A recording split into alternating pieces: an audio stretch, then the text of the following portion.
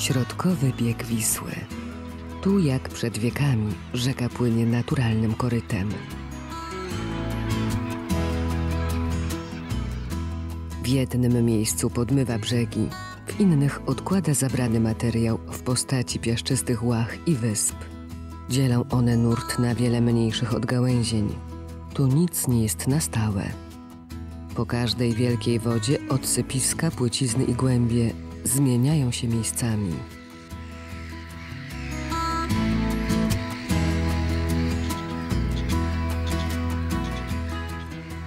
Plątaninę wodnych ramion wzbogacają licznie zachowane starorzecza. Trudno określić, gdzie właściwie zaczyna się stały ląd.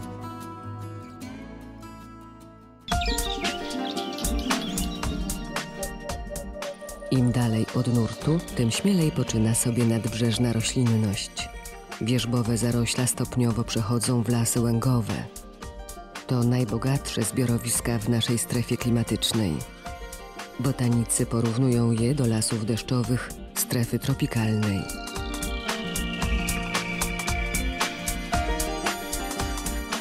Ten odcinek Wisły uznawany jest za ostatnią dużą dziką rzekę w Europie. Nic dziwnego, że objęto go ochroną w ramach sieci Natura 2000.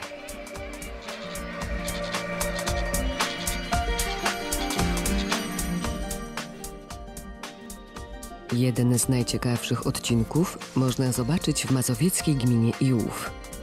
Niestety, należy ona do tych miejscowości, gdzie samorządowcy nie patrzą zbyt przychylnym okiem na nowe formy ochrony przyrody.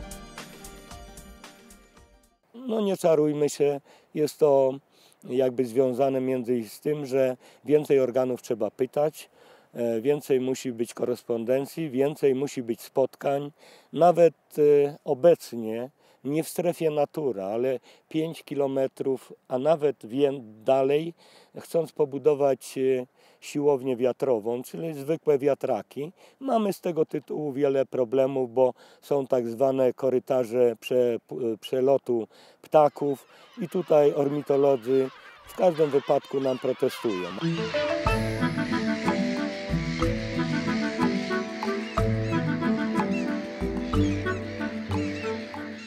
Rolnicy obawiają się przede wszystkim, e, że nie będą mogli wycinać drzew. To jest taki podstawowy element, bo ludzie tutaj się bardzo denerwują, że wójt ma możliwość nałożenia na osoby y, posiadające zadrzewienia na swoich terenach postępowania w sprawie wydania decyzji środowiskowej.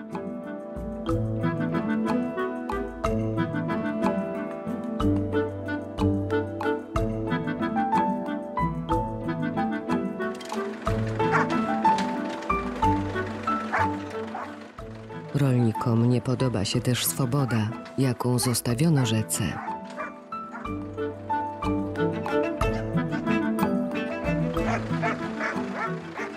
Dla rolnika, z punktu widzenia rolnika, jest y, bardzo, powiedziałbym nawet bardzo, bardzo uciążliwa jest duże zagrożenie powodziowe. Niestety ekolodzy, organizacje ekologiczne i dyrektywy unijne, ptasia, siedliskowa e, stworzyły nam e, taki byt, że co roku ostatnimi czasy mamy duże zagrożenie powodziowe, które nas tutaj w jakiś sposób stresuje i nam jest dla nas po prostu rolników i tu mieszkańców uciążliwe.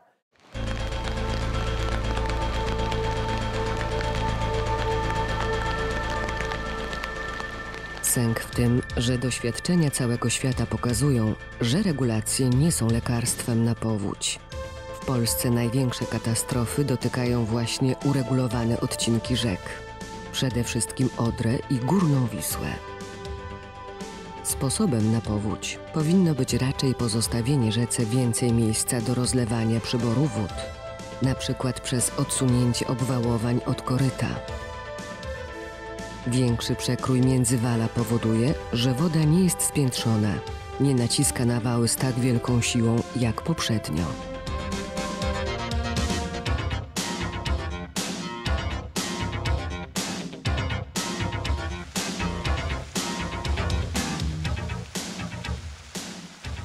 I łowie można też znaleźć zwolenników natury.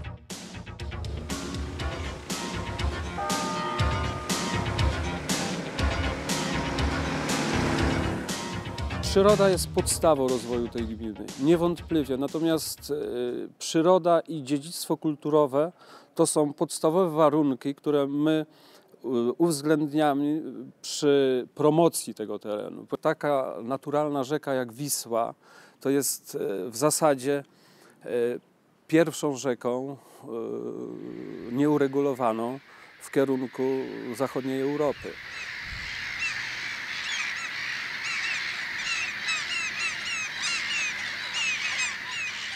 Na pewno należałoby wziąć pod uwagę możliwość rozwoju agroturystyki. W naszych projektach agroturystykę przedstawiali, przedstawialiśmy jako alternatywne źródło dochodu dla miejscowej ludności. Szczególnie chodzi o miejscowości nadwiślańskie, gdzie jakość ziemi to jest no, bardzo słaba. To jest klasa zwykle piąta, szósta, z których rolnicy nie mają dochodów, nawet podatku y, nie płacą.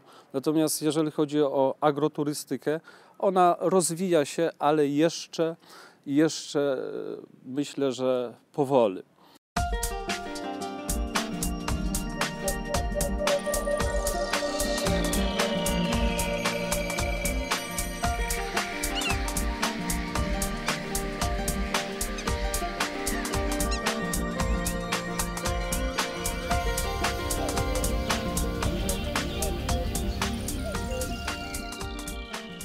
Mam siostrę, która jest w Stanach od y, 20 lat i też przyprowadza tutaj dzieci, gdy przyjeżdża, żeby właśnie oglądały nadwiślańskie tereny, żeby zobaczyły, jak wyglądają y, y, gniazda ptasie.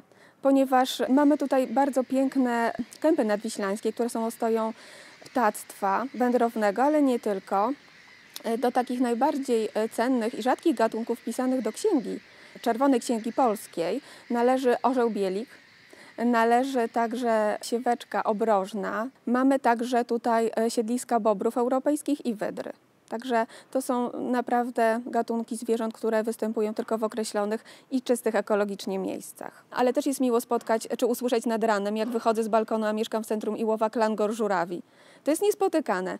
E, Otwieram sobie o 6 balkon i, i słyszę, jak te żurawie sobie tam e, urządzają toki.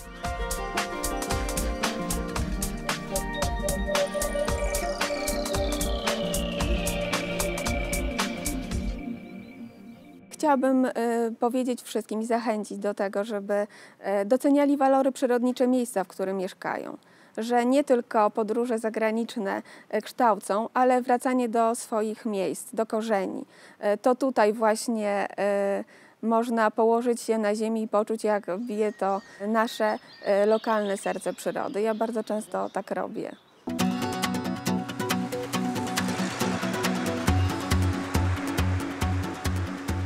Samorządowcy widzą też w naturze szansę na rozwój, ale na razie chyba nie wiedzą, jak unijne ostoje zaprząc do pracy na rzecz lokalnej społeczności. W tej strefie natura przydałoby się, żeby wybudować tak zwane szlaki e, pieszo-rowerowe, żeby e, mieszkańcy, żeby e, przyjezdni mogli zobaczyć. Zobaczyć tego bobra, zobaczyć słowika, bociana białego mamy, mamy czarn- czarnego bociana.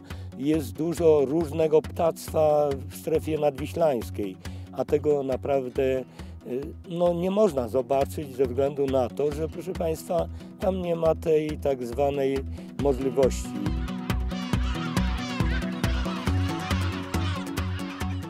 Ta strefa do obejrzenia jest praktycznie niemożliwa z wału. I tutaj prosilibyśmy wszyscy, na pewno nie tylko ja jako wójt gminy Iłów, ale też i wszyscy wójtowie położonych gmin w strefie nadwiślańskiej, żeby jednak przeznaczyć jakieś pieniądze, które by pozwoliły nam na wybudowanie wież widokowych.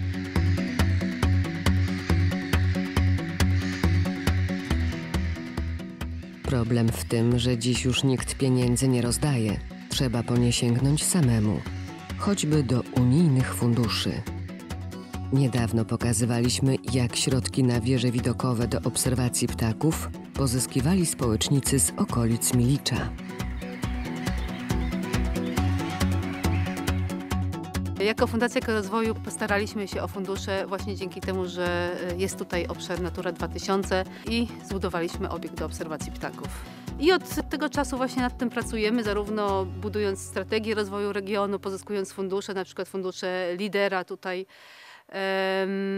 ale też pozyskując właśnie takie fundusze na rozwój turystyki przyjaznej e, przyrodzie, w tym na przykład właśnie obserwacji ptaków, która jest na świecie no, olbrzymią gałęzią e, e, właśnie przemysłu turystycznego, przynoszącą duże dochody. Równie dobrze może tutaj przynosić te dochody.